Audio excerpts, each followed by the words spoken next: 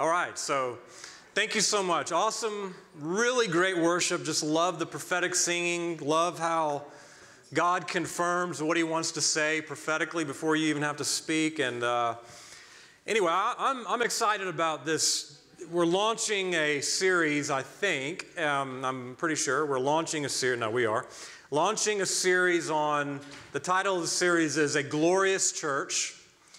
And we're going to talk about in this session and this teaching today the call to be a glorious church. And I just want to share how this came about and how, you know, I sense the Lord's direction. There's a lot of things I sense the Lord is saying, and sometimes it's it's so much you're like okay how do you kind of consolidate this all together and articulate it and express it so we understand but on, on Tuesday, last Tuesday, on November the 9th, I had a very vivid dream. And um, in the dream, Watchman Nee was talking to me. It was me and Watchman Nee. You know, we're buds. So, me and Watchman Nee, he was talking to me. And you know, Watchman Nee is the famous uh, pre- preacher, a Chinese preacher who uh, died in 1972, but just a great man of God, a true forerunner. And we were talking in the dream, and he, he was talking to me about the Glorious Church. And of course, Watchman Nee wrote the book, The Glorious Church, but he was talking to me about the Glorious Church. And then that was, in, that was early Tuesday morning. And then later that morning, I don't know, around 8 o'clock that morning, John, we got a family text, and I won't share some of the stuff that goes on in that family text, but got a family text from John, and he sent this PDF book, and the name of the book was called The Glorious Church. And when I got that, I was like, okay, that, that is the Lord. I mean, just you cannot make that up. That I mean, just the, the timing of it, the confirmation of it. it. It was not Watchman Nee's book, but it was another book called The Glorious Church. It was about getting a vision of the local apostolic church being a glorious church. And so when I saw that, I was like, okay, Lord, I know that I have a tendency to be dull of hearing, but I really believe you're speaking here. And so what I believe as I waited on the Lord um, to kind of get some understanding is what I really believe the Lord is saying. Watchman Nee, who wrote a book on the glorious church, but he's also kind of known for the message he carried to divide the soul from the spirit. That's really, to me, one of the, the greatest messages he carried of Hebrews chapter 4, verse 12, of the dividing of soul from spirit. And I, I, think putting all this together, what I really believe, and that would kind of take some of the other prophetic words that have been given over the last several weeks, is the Lord is speaking about this local church being a glorious church. And the way to get to be to that glorious church is for God to divide between the soul and the spirit to get at the very thoughts and intentions of the heart. And so, Go ahead, if you have your Bibles here, I want you to turn to, to a couple scriptures. You, I'm sure you know these, but just to get them in, just get them going in our thinking here is number one is Ephesians 5.27. Ephesians 5.27. And Ephesians 5.27, Paul talks about that he would have a glorious church. God is going to have a glorious church before he returns. We're living in the age where no matter what we see, even if it's only in a remnant, even what we see right now, the Lord's final word is He will have a glorious church. The Lord is going to fulfill this promise. I, I assure you of that. And it's incredible the times we live in. Yes, there is great darkness. Yes, there is shaking. Yes, it seems like things are just gone mad and crazy, but I assure you the good news, the hope for us is Ephesians 5:27. He is going to present to Jesus Christ a glorious church that he might present to him the, uh, the church in all of her glory, having no spot, stain, or wrinkle, or any such thing, but she would be holy and blameless. God is raising up a glorious church. We are living in the day when the Lord is on the move. He, yes, there's, there's negative things that He's doing. I mean, they're, they're, humans might perceive them as negative. They're not negative, but humans might perceive them as negative. But this God is raising up a glorious church here at the end of the age, and God wants every local church to be an expression of this glorious church.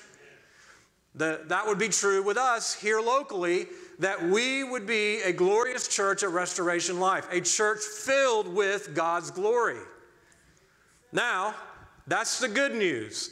The news that you might not think is as good is the pathway to get there, because God has to do a work of surgery to get there.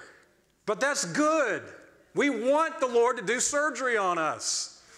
Because God cannot bring a people that are soulish, a people that are carnal, into the Holy of Holies. He can only bring a people who are spiritual. And when I mean spiritual, I mean Christ in them is their life source. Drew sang it prophetically He being the life source. He is the source of life not self life in your soul, not the carnal cravings of your body, but Christ in you, the, the, the, the, life source you live by. And so let's turn to Hebrews chapter 4, verse 12. We're, gonna, we're not going to talk about this too much today, but we're going to unfold it in the next week. But I want to get it on our radar so we understand this is, this is where we're going. God wants to do a deep, deep work. And what Bethany's saying was so right. Deep calls unto deep at the sound of his at the sound of his voice. Deep calls to deep at the sound of his voice. And so to bring us into the depths of God means there must first be a work in us that cuts deep. And when we know that, and we know where God's going, and we know the end result and the final by, byproduct of it, there will be less resistance in us when God begins to point his sword at us. Because the heart is what it's all about. And we talked about that last Sunday. The way we hear is absolutely a byproduct of the condition of our heart. Watch over your heart because from your heart flow the issues of life. Everything comes out of the heart. The heart is the source of everything, of your thoughts, of what you do, of who you are. It's the heart. And God would want us to, to bring us into a place of this glorious church by bringing a, his living, active word like a sword into the thrust, uh, thrusting it into us. You know, in the Old Testament, the animals were the sacrifice. And Christ obviously is the Passover lamb, but in the New Testament, we are the sacrifice. Romans 12 11. Our act of worship is to present ourselves as a living sacrifice. And God puts us on the altar and He takes His living, active word and He cuts us open. And He, he lays us bare. And His Word penetrates to the very deepest part of our being, even to that place of joint and marrow, so deep he divides between our spirit and our soul because without that division, we begin to think what is what we our thoughts are his thoughts and God's like, "No, I've got to divide the soulish thinking that you have from the spiritual thinking that is of the spirit so I can get to that very division of soul and spirit into the heart which has the deepest thoughts and intentions of the heart. Because as we are in our heart, so we are. Proverbs said a little bit different, I'm paraphrasing it, but as a person is in their heart, is who they are. The condition of your heart You can try to suppress it, you can try to masquerade it, you can try to put a mask on and hide it, but who you are in your heart eventually comes out. It comes out in the way you talk, it comes out in the way you joke, it comes out in what you do. You, we cannot fake who we are in our hearts. Therefore, God, to bring us close to Himself, because of His incredible kindness, takes His sword p- penetrates deep, deep down to the very thoughts and intentions to expose our heart. This is good news. This is good news. We want this. I want this. Don't, you know, a lot of Christians sometimes are like, oh, that sounds terrible. That seems like God's going to, you know, tell me bad things about me or whatever. Eh, you know, yes, He is, but he does it because he loves you. all right? I mean, you're laughing because we've all had that, haven't we? We've all had the Lord tell us, okay, you're acting very immature right now, or your, your mindset on this issue is very much out of whack, or whatever. Is we've had that. God is doing this because of his jealousy for us. What God is doing here locally in Restoration Life is he's bringing us into the Holy of Holies. He's bringing us into the Holy of Holies. He wants to move us from being outer court Christians who are occupied with the externals, holy place Christians who are occupied with the gifts and the things of God, to be holy of holy Christians who are preoccupied with God Himself. And for God to bring us into that place where we are preoccupied with God Himself, He must do a deep work of cutting, a deep work of surgery, a deep work of going into the very division of the soul from the spirit. Because what God wants to do in this division of soul from spirit is to show us by the living and active Word of God Bryan, this thought you have is not from me, it's from your own soul. This thought you think that's leading you and directing you, this opinion, this human wisdom you have, Bryan, that you think is from me, is not from me, it's from your own soul. Therefore, his goal in this is so that we would not be led by the human mind and its wisdom and its craftiness and its intelligence we would not be led by the emotions that are up one day and down another like a roller coaster. We would not be led by this will that wants what we want when we want it, but it would be the Spirit of God who dwells in our spirit being the leader of our lives. That is what God is doing in the division of soul and spirit. He wants to tell us by illumination and revelation, this part of you is leading you, and this part of you is the soul and the self life that's leading you and is making you be a soulish Christian. But I want you to be a spiritual Christian. One who is led by the Spirit of God, one who is filled by, with the Spirit of God, one who is controlled by the Spirit of God, that we operate to this place where Christ Himself, by the Spirit of God, is dwelling in our hearts and filling our hearts. That's, that's where we're going.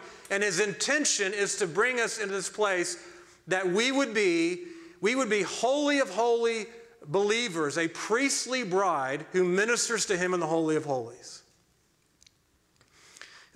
Hebrews 4:12 for the Word of God is living and active, it's sharper than any two edged sword.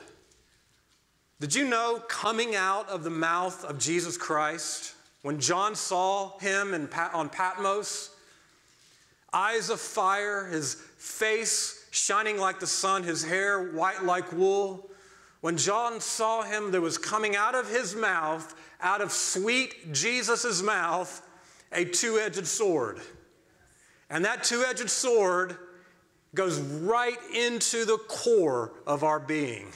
Sweet Jesus. Sweet Jesus. But he's good. He does that because he wants to bring us into a heart to heart relationship with him. He does this because he wants us to be his beloved bride.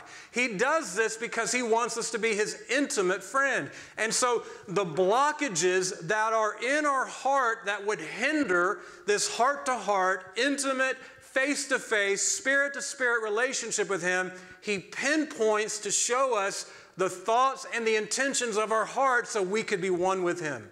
God is doing this out of jealousy, not of anger.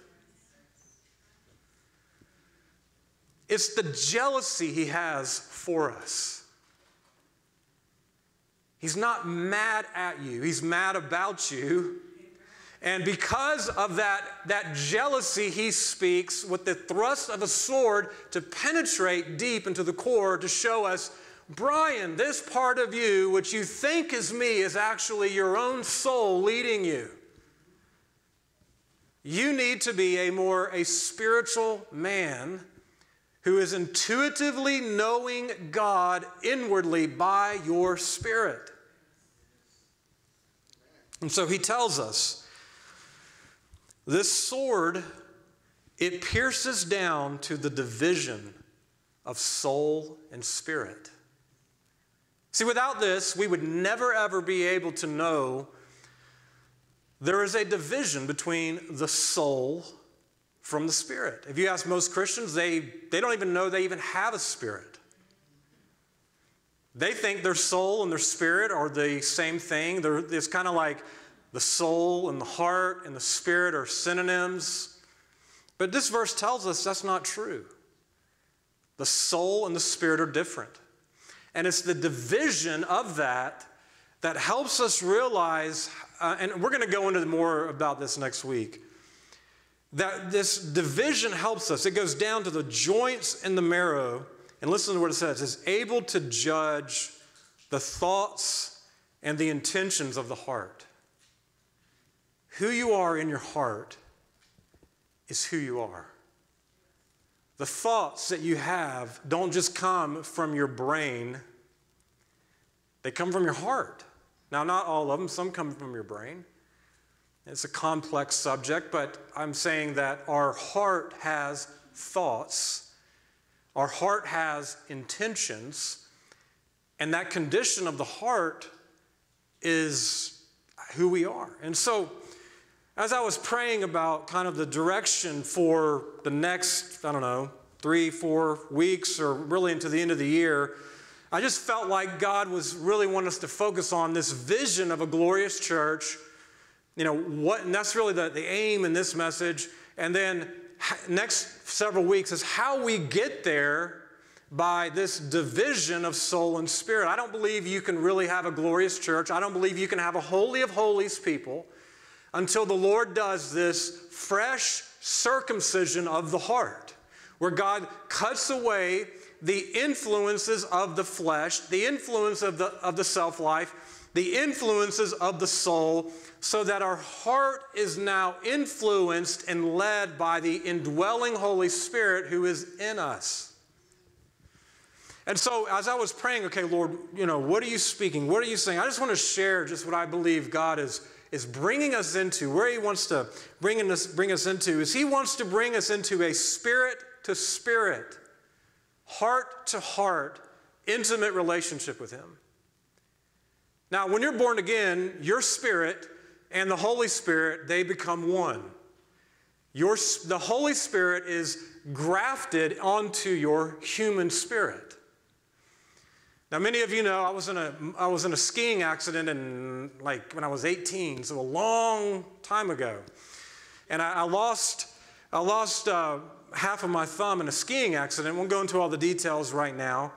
All I will say is, for some reason, the doctor thought he had this brilliant idea. He wanted to cut off my big toe and sew it to my thumb. And I'm just thinking, okay, that would be really awkward. You know, just having this big, big toe on your thumb. Hey, I'm, I'm, I might give everyone the big thumbs up. Hey, you know, thumbs up, dude. You know, you get the thumbs up emoji. I would have the thumbs up on the literal big toe on my thumb. I said, no, thank you. I do not want to do that. But one of the things they did have to do is they had to take a piece of skin and they had to they had to take skin from this index finger right here and put it around my thumb. And they had to take another piece of skin and graft it onto my index finger here. So i now have a skin graft. And when i'm out in the sun especially when i was used to be out in the sun a lot more this part of my skin gets like almost i mean just so brown and the rest of my skin's pale.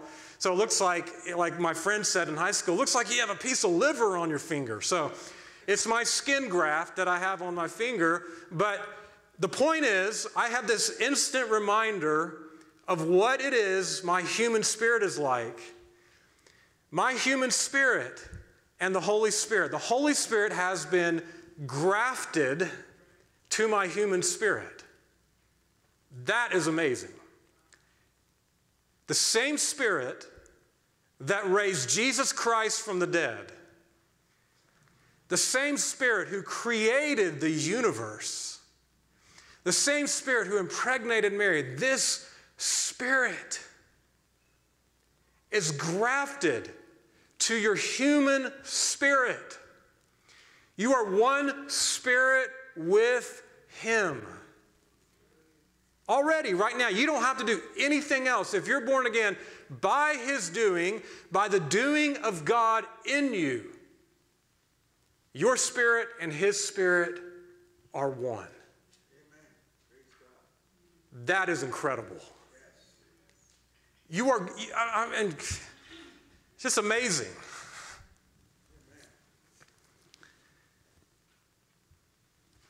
Your spirit and the Holy Spirit are one. I mean, wow. God's got to look down on us. The angels have to look down on us and it's like, guys, what are you doing? You've got the creator of the universe living inside of you, and you're struggling with all these petty little things. I mean, you've got God in you. Literally, God in you, Christ in you. I mean, it's either true or not true. Christ is in you. I mean, your spirit and the Holy Spirit are one, glued together, inseparable. I mean, I could list out a million things about this, but you have Shekinah of glory in your spirit. You have rivers of living water in your spirit. You have truth in your spirit. You have the helper in your spirit. You have the mind of Christ in your spirit. You have the virtue of Christ in your spirit. You have the anointing in your spirit. You have the helper in your spirit. You have the kingdom of God in your spirit. I mean, incredible. That's the spirit to spirit relationship. That's what God has already done in Christ when you were born again. Your spirit and the Holy Spirit are one, joined together inseparable, grafted to your human spirit. Now, the issue is the heart. The issue is the heart. The heart can grow cold. The heart can grow calloused. The heart can grow doubtful and unbelieving and bitter and cynical. The heart can grow proud. The heart can grow defiled by lust. The heart can grow judgmental or critical or cold. The heart can fall away from God. And so the issue is then you have this treasure here in your spirit, but the condition of your heart can block that flow. That flow from your spirit into your heart, and that determines how you live because the condition of your heart and who fills your heart, whether self or Christ, determines the life source you live by. And so God wants to bring us not only into a spirit to spirit relationship with Him, but a heart to heart relationship with Him. That's what Bethany was singing about. That's what Diane prophesied last Sunday is the human heart, your heart, the deepest part of you, the deepest beliefs, the deepest thoughts, the deepest motives, those deepest beliefs in you that you can't change, that only God can change. God wants to unite that part of you with His heartbeat. So that now we would become not just an intimate, not just an intimacy, we would become the very rhythm and beat, or, or the, we, would, we would embody the very rhythm and heartbeat of God. Starting individually, but moving into this corporate dynamic, which brings us into something so much richer and so much more full. I mean, do you see what God wants to do. It's amazing. We have this treasure in earthen vessels. We are earthen vessels. And as the years go on, I realize my earthenness more and more. As we, you know, back in your 20s and 30s, even your 40s, you don't realize how earthen you are. You think you're far above all that. But, you know, get into your later 40s, you start feeling the earthenness. And I'm sure other people are like, just wait. But you start feeling your earthenness just a little bit more, but we have a great, incredible treasure inside of us, the Holy Spirit. And God wants to bring us into this place of a heart to heart relationship with Christ.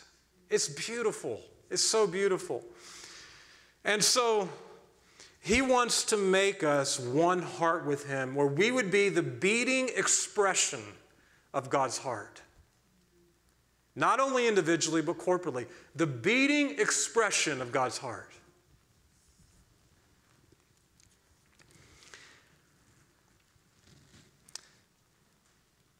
God wants to knit our hearts together as living stones by the Spirit and love. That we would, be, you know, God's, and I'm going to get into this a little bit more in a minute, but we, we are those living stones. We are that those living stones. God knits together in love, love for each other, that then becomes the dwelling place of God in the Spirit, where we love God with burning passion and are fervent in our love for one another. As this takes place, God's heartbeat is embodied within us, and I'm talking corporately, corporately. It begins individually, but it must be expressed corporately. This is not meant to be, God's heart is not just for a me and Jesus relationship in your prayer closet.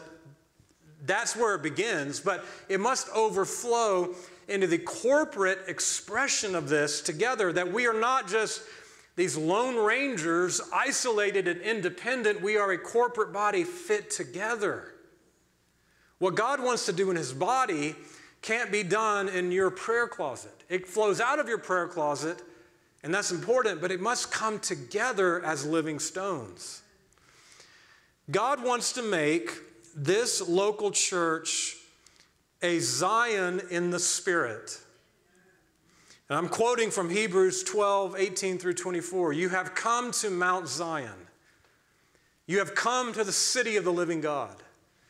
See, God wants to make this a reality in the Spirit. Zion is the Holy of Holies. You, you could say it another way. God wants to make us as living stones fit together to where we are this dwelling place of God, but it's not a dwelling place of God in the outer court where we, where we just barely know God and we're just in, in, in just barely into the kingdom, or even the holy place where we're preoccupied with the things of God. He wants to bring us into that holy of holy relationship, a Zion in the Spirit, a Jacob's ladder. You know, Jacob had that experience in Genesis 28. This is none other than the, than the house of God and the gate to heaven. Is God wants to make this local body the house of God and the gate to heaven. And you know, Jacob saw the angels ascending and descending and all that went around that dynamic. God wants that, this local church to be that. God wants to have us have worship. I think we tasted a little bit today, but this worship, we see in Revelation 14, 1 through 5, where it's, it's a group, a, the first fruits, they're ministering to, to the Father and to the Son in the very Holy of Holies. Their relationship is a priest ministering to him in the Holy of Holies. They're face to face, intimate. They're worshiping him in a song no one else can learn. This face to face, heart to heart intimacy with the Lamb, surrounded by his glory. I think we've tasted it. I, I think God has way, way more for us. And that's determined by the heart. See, what I'm describing here is, is, so much, is so much further, so much greater than we can ask, think, or imagine. I just want you to get a hold of that for a second. See, I, you know, I'm talking, and even myself talking, we think, okay, this is what we think it's going to be. It's going to be this, this, or that, and we get a, a frame in our minds. But the Word of God says, no, He will do exceedingly abundantly beyond all that we can ask, think, or imagine based on the power of God at work in you. So we always think that's about getting God to bless us when it's in fact getting about Christ to fill us. Read the context.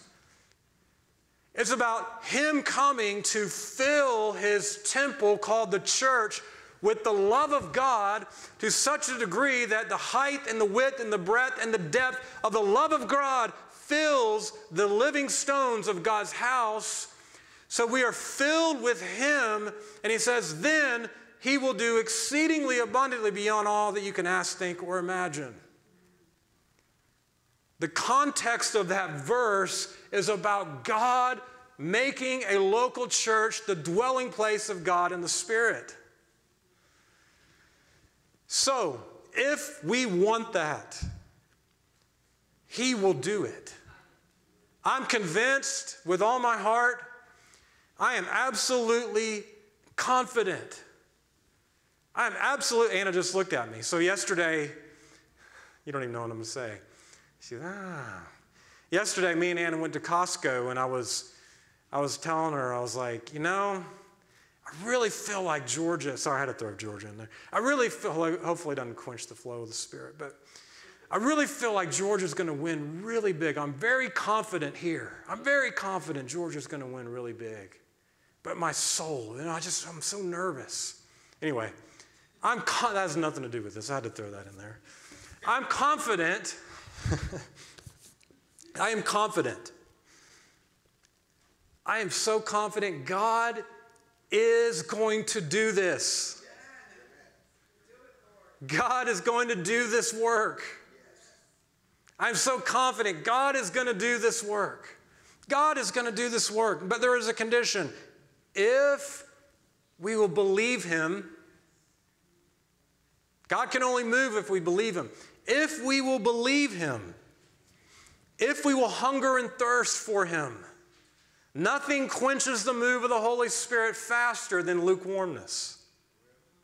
Self satisfaction, satisfied by the things of this world, this, the things of this life. Nothing quenches the spirit of intimacy with Him faster than that lukewarm spirit. That place that can, you, you know it, we all feel it. I mean, that place where we feel foggy, we feel kind of like, eh, you know, the hunger I once had isn't really there you know, the, the meh emoji that you have on your phone, just kind of like meh. You have that kind of attitude towards the Lord, meh. You don't really hunger that much, but you go through the motions, that meh feeling, that lukewarmness. If we will hunger and thirst for the Lord, He will do it. And here's another big one. If we will allow the Lord, if we will allow the Lord without resistance, if we will allow the Lord to do a deep surgical work in our hearts, then God will make this place a dwelling place of God in the Spirit. Amen. The Lord wants to make us a spiritual house of living stones. See, the place God's going to dwell is not in a building it's in his people. And as those living stones are, are filled with Christ, and those living stones are fit together, God constructs a spiritual house where He dwells. God is not interested in dwelling in buildings. And that doesn't mean it's bad to have a building. We got a nice building here. But it's not about the building, it's about the people. It's about the people having Christ. It's about the people who have Christ then being fit together. So just just we had an analogy uh, just to help us here is a couple years ago we got a new modern backsplash and, and Angie and I made a me and Angie made a really big mistake. The mistake was we should have put under cabinet lights in before the tile went in. And so if you're ever thinking about putting back, a backsplash in, if you're ever thinking about putting under cabinet lights in with it, do the lights first, okay? That's, that's my Home Depot tip for you. You know, I wouldn't take too many Home Depot tips from me or your house might look really bad, but take them from other people. But that's my one tip is, you, is put the under cabinet lights in first. So that's a mistake that me and Angie made. And so then when the tile went in, we didn't have the under cabinet lights on. And so when the lights were installed after that, it exposed every place where the tile was not in alignment and flush with each other. And that just remind, thankfully, our contractor was very generous and, and fixed it for us uh, at no cost. But that showed to me and Angie that, okay, that's like what the church is when we're not in divine alignment. When we're not in divine alignment, we're kind of like that tile that's one's poking out here, one's recessed here, one's off here, one's off there. God wants to bring us into that divine alignment where we're fit together. And that's where the rubber meets the road. There's nothing like, you know, I'm thankful for online church and I'm thankful for live streaming and video on demand, but there's nothing like having a local body to rub you. Why are y'all thinking about me right now? There's nothing like having a local ecclesia to just rub you and grate you and sand at you and annoy you. And a lot of people just say, well, no, I'm out of here. I'm out of here. No, don't be that way because God's using that grinding, God's using that sanding to shape you to be fit together as that living stone in His house. Don't run from that. And you can't get it by watching online church. You need those relationships. You need that accountability. You need that rubbing. You need that sanding. You need that chiseling. You need people to call you out and say, hey, that right there, you need to get that in order. That right there, you need to get into alignment here. We need that local church. Eh, some, somehow we've lost the, the beauty of the local church with online church and Zoom church and mega church that we've kind of just lost that, that living stone reality of God fitting us together. And, and I just I see it all the time. You know, even, even people who watch us online is, is just not having that, that, that local church where they're being fit and sanded. And I've, I've heard it, you know, sometimes, well, I just don't feel like I fit. Well, maybe the reason you don't feel like you fit is God needs to do a work in your soul of chiseling and sanding and, and working and refining to make you fit as that stone. None of us fit when we first come in because God's shaping us to be that perfect living stone to be his dwelling place. So don't run from the work of God in the relationships in the local church. Let those shape you and refine you and fit you. So many people just run and they end up thinking, well, I can just have this me and Jesus relationship in the prayer closet, and uh, it just doesn't work that way. God surfaces things in the local church that only come up in the context of relationships with each other. So it's living stones that, that God's fitting together. It's living stones that are being fit together to create a corporate spiritual house. I mean, you can just, I think in America, we've, we've become so independent and so, you know, it's, it's inbred into our culture is this independence. And this freedom, and all that's great. I love it. But when it comes to the church, we've got to realize God is moving and He's moving corporately. What God wants to do to build a glorious church is a corporate work. And it goes far beyond just going to church on Sunday. It's, it's about us being connected to each other. And that's why, that's why it's so important. That's, listen, it's so important that we prioritize our Sunday gatherings together. There's been a trend, and it's not just here, but it's all around, you know, church leadership experts are doing the research and they're telling us that after the pandemic, that, that, I don't even know the percentage, 30 to 40% of the church is not coming back. And that, you know, well, you need to have an online option. And I'm all for the online option, and I appreciate the online option. I'm thankful for that. But you just cannot have what God wants to have online. It's just impossible. It's impossible. And that's why uh, Scripture, I want to read this Scripture, Hebrews 10 25. I'm just going to, you, you can turn there, you can just hear me read it. But I want you to hear this is not the words of Bryan because he wants everyone here. This is the, word of, the words of Scripture. Not forsaking our own assembling together. It doesn't have an asterisk there that says, but if you wake up and you're tired, it's okay to just connect on YouTube. There's no asterisk that's saying that it's okay. The, the Holy Spirit is telling us through the author of Hebrews don't forsake your assembling together. If we have gotten into a habit of regularly skipping church on Sunday, I guarantee you, unless you have very extreme circumstances, that it's likely not the Lord that's leading you. It's likely the soul or the enemy. Listen to what Scripture says. Now, just so you know, I had this already in my notes, okay? I'm not picking on anybody, all right? So, just this is just something I felt the Lord just had me to share today, not knowing who's going to be here, who's going to hear online, okay? So, not forsaking our own assembling together,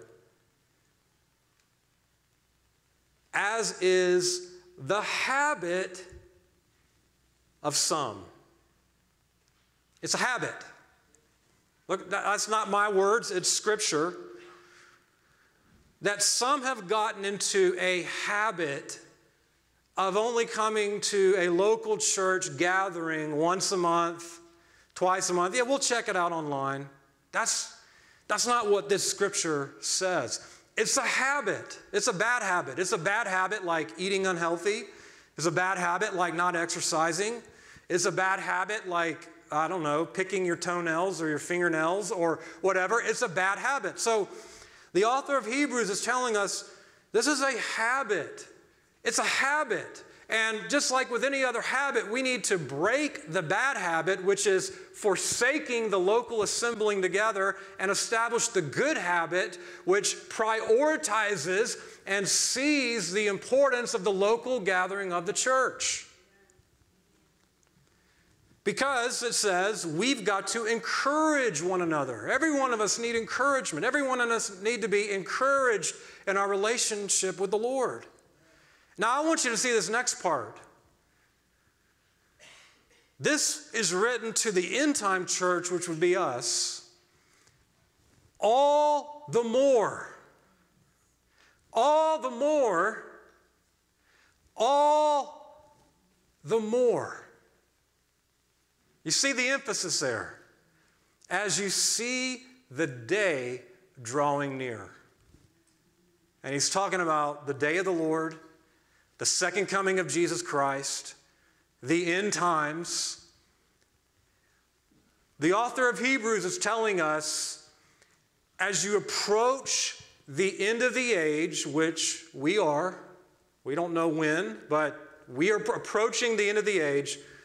The writer of Hebrews is telling us do not forsake the gathering together of the ecclesia, of the local church in fact, all the more you should be more faithful as that day comes near. I believe the trend, listen to this, I believe the trend that we see of this regular skipping of church is, is influenced by the spirit of the age that could ultimately lead into apostasy. I believe that. It, there is a current right now in the culture that's influencing the church. You cannot get what you need to get just online. You cannot get it just on YouTube or Zoom. Now, again, I know, I know there's people watching us online and they're protesting and they're saying, You don't know my circumstances. And you're right, I, I don't. And so there are definitely unique circumstances to this, okay? So just know, I know there are unique circumstances to this. I'm not saying, I'm not painting broad strokes. I know there's, there's unique circumstances to, to every context. I know that, all right? So just understand I know that. However, I believe this trend is part, it, is, it could be the very beginning stages of the great falling away from the faith. So we have to be careful then that we don't come under that influence of the spirit of the age which is leading to which is leading to apostasy if we don't understand the great falling away has begun it has it has and it's going to increase that that the importance of regularly gathering together with other members in the body of Christ in the ecclesia. Now, I know, and listen, I know that, you know, people who would watch us online, they would be like, okay, you just don't know what some of the churches are like or out there and the things they preach. And I get all of that, I really do. So, this is something you need to pray about if you're in that situation. But, but I'm just saying that we've got to come back to getting God's heart for the local gathering of the church, the ecclesia, the body of Christ. This is not, we don't go to church, we are the church, and we gather together under the head of Jesus Christ as his body to be that to be that, that those containers of God's life who organically express God's life together interdependently. We need to come back to that great and glorious vision that Paul had in Ephesians of the glorious church, of the local ecclesia, of the local body, realizing that we cannot ever come into the fullness of Christ just by staying in my prayer closet with Jesus. We need each other to come into what God wants to do. So you can read the notes, it's all in there. I haven't deviated like I did last Sunday yet. Okay. Isaiah 65 8 says, Thus says the Lord, new wine is found in the cluster. There is coming an end time move of the Holy Spirit.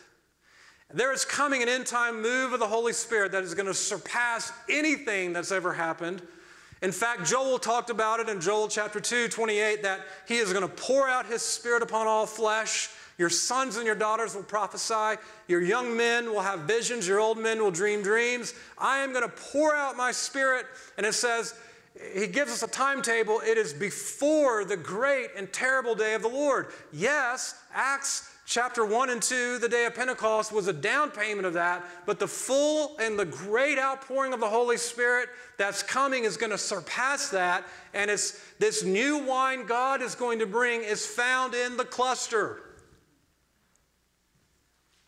That means if you want to be part of this end time move of God, you can't, you, you've got to be connected to the local church, to the local ecclesia.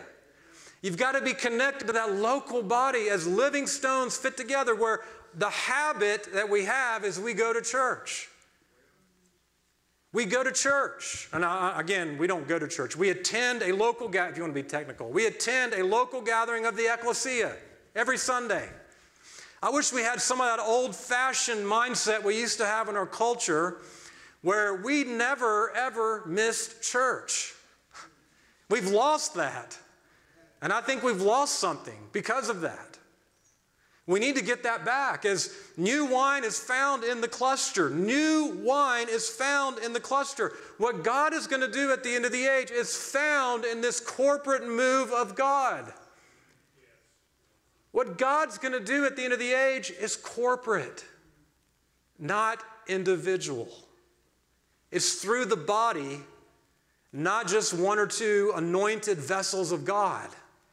And I love it. One thing I love about our church is amazing to me.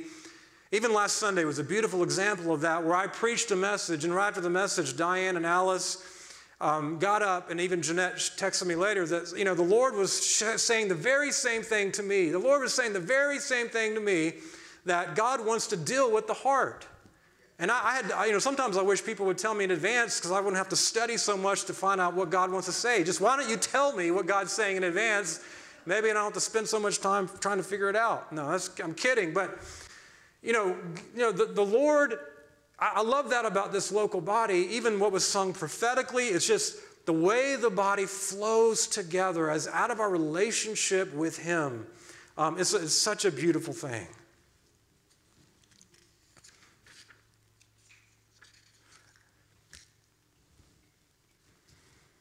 Just trying to figure out here where to go.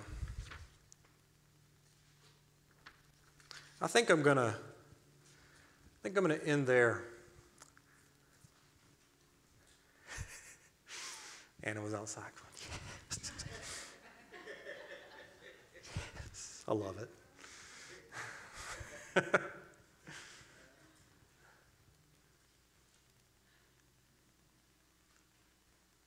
yes, Lord. Let's wait on the Lord just for a second.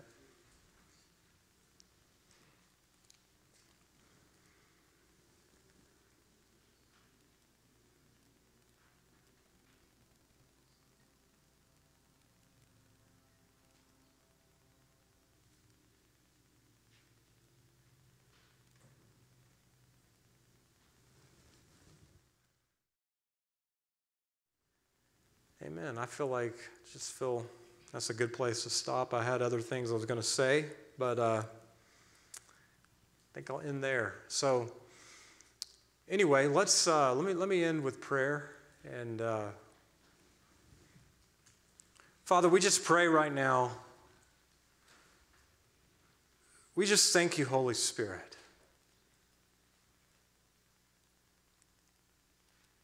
I, I just want to pray for us here and even li- those listening online that we would have a, a, a, a, we would have a scriptural view of the importance of the local church.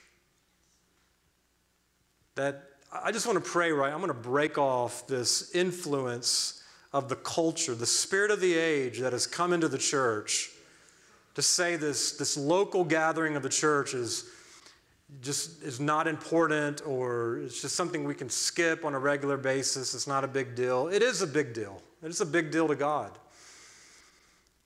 And I just pray right now, Lord, um, I just want to pray right now, Father, that you would break off from us any influence of the spirit of the age that would not value and prioritize our local, local gathering of the ecclesia.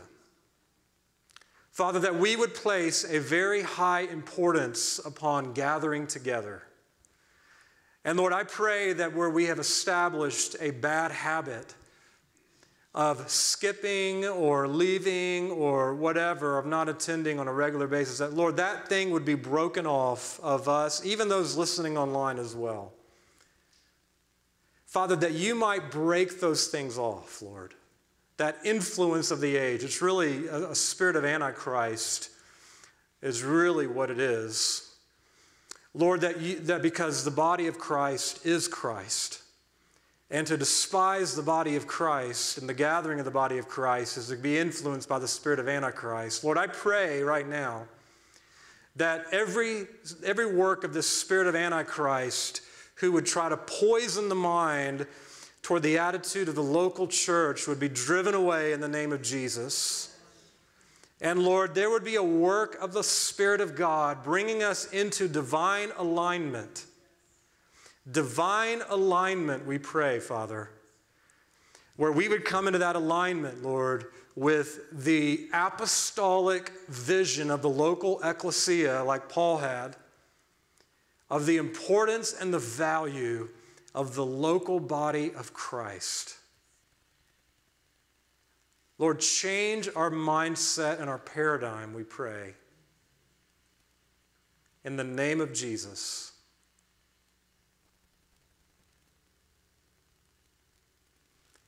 And I pray, Lord, as we, as we go deeper in this study of seeing the glorious church come forth and the, the division of soul and spirit you want to bring, Lord, I pray, Father, that you would just you would just do a deep work. If you want the Lord to do a deep work in your heart, just raise your hand. I've got my hand raised, okay? Lord, would you do a deep work in our hearts, Lord? Lord, would you do a deep work in our hearts? Lord, we don't want to resist you. Lord, we want to be moving at the rhythms of your heartbeat. In fact, that's one thing I forgot to say is God is going to bring us to a place where we only move at the rhythm of his heart. It's very important that we come into that place where we're so sensitive to the Spirit that we move to the rhythm of His heart. Lord, would you make us tender inside? Lord, would you soften our hearts? Lord, would you just do that deep work inside of us, Lord, that we could move, Lord, at the rhythm of your heart? We would only go where you want us to go and only say what you want us to say. I pray, Lord, in Jesus' name.